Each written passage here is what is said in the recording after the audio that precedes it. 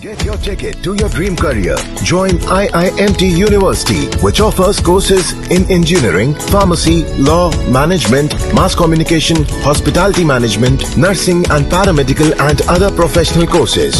O pocket Ganganagar Mawana road Meerut नौकर शाहों में स्वयं को खुदा या सर्वे सर्वा समझने की प्रवृत्ति बहुत तेज़ी से घर करती जा रही है त्रिपुरा की राजधानी अगरतला में डीएम को एक शादी समारोह में पंडित को थप्पड़ जड़ने की घटना के बाद अब छत्तीसगढ़ के सूरजपुर में डीएम रणवीर शर्मा ने चेकिंग के दौरान युवक को न सिर्फ़ थप्पड़ जड़ दिया, बल्कि पुलिस से उसकी पिटाई भी कराई। वीडियो वायरल हुआ तो छत्तीसगढ़ के मुख्यमंत्री को हरकत में आना पड़ा। बदमिजाज, रणवीर सिंह को सूरजपुर से तत्काल हटा दिया गया है। रणवीर सिंह की जगह गौरव सिंह को सूरजपुर का नया जिला कलेक्टर नियुक्त किया गया है।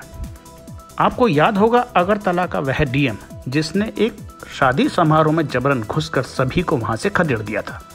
कमज़ोर पंडित को चांटा रसीद कर दिया था। इतना नहीं, डीएम ने वह परमिशन भी फाड़कर महिला के मुँह पर उड़ा दी थी जो जिला प्रशासन ने दी थी। यह सारा ड्रामा लॉकडाउन के दौरान गाइडलाइंस का उल्लंघन करने के नाम पर हुआ था। अब ताज़ा मामला छत्तीसगढ़ का है। जिस युवक को थप्पड़ व लाठियाँ मारी गई उसकी पहचान अमन मित्तल के रूप में हुई है।